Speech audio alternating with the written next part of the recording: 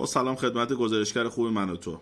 امروز چهارشنبه 20 اردیبهشت 1402 ما سه ماه پیش رفتیم خودرو شاهین ثبت نام کردیم توی طرح قانون جوانی جمعیت. مبلغش هم 344 میلیون و 747 هزار تومان بوده. با زمان تحویل حد اکثر 90 روزه. بعدش که رفتیم تو سایت مبلغ رو پرداخت بکنیم با کمال تعجب دیدیم 10 میلیون تومان از ما اضافه تر دارن می‌گیرن. بابت کارت طلایی دو ستاره که اینو بعد به اجبار پرداخت می‌کردیم. حالا همه اینا بماند. بعد از گذشت سه ماه رفتیم به نمایندگی مراجعه کردیم میگیم آقا این ماشین ما چی شد؟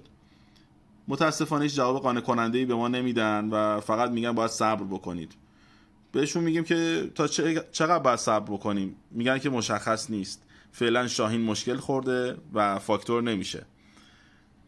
تازه باید صبر بکنید. اول براتون یه الحاقیه بیاد که یه ما با تفاوت پرداخت بکنید بابت بیمه و عوارض و مالیات 402 با 401 اونم مبلغش تقریبا 15 16 میلیون تومنه.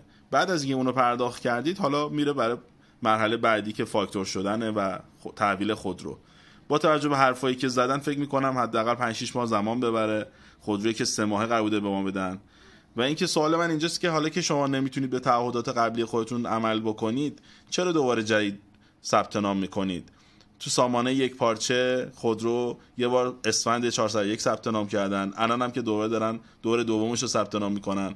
فقط ثبت نام می‌کنن. هیچ خبری از تحویل نیست.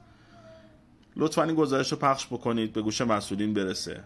با تشکر از گزارشگر خوب من